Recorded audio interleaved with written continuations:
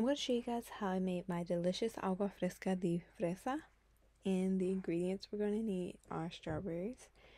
We're going to need 2 teaspoons of vanilla extract. We're going to need 1 whole can of evaporated milk and 1 whole can of sweetened condensed milk along with some ice.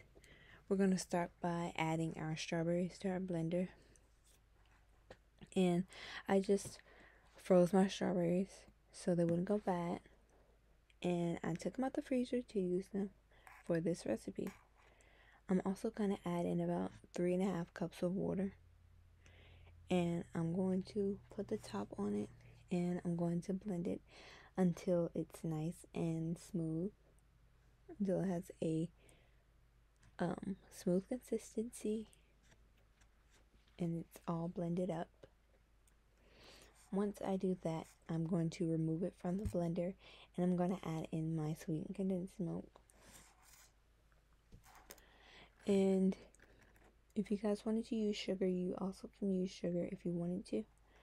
But I just decided to use sweetened condensed milk to make the um, agua fresca thicker and creamier.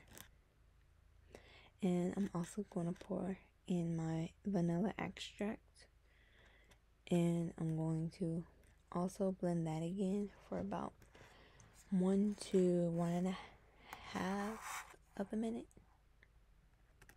And this agua fresca is very creamy and thick and delicious. So after I blend my agua fresca I'm to add ice to my picture. And you can add as little ice as you want or as much ice as you want. Um I also I didn't add warm water. I just added cold water to my strawberries. The water that I used to blend my strawberries up. Um depending on how much water you add or and how much ice you add, that's going to um have something to do with the sweetness. Like water your um agua fresca down. So um you don't want to add too much water or too much ice. You can you can even add um, ice to your individual um, glasses. And you can do it like that. And if you do add too much water, you can just add some more sugar or whatever sweetener you're using, sweetened condensed milk. After that, after adding my ice to my picture, I'm going to pour in my agua fresca and it's so creamy and so delicious. After that, I'm going to add in my evaporated milk and I'm going to fill it all the way up with that.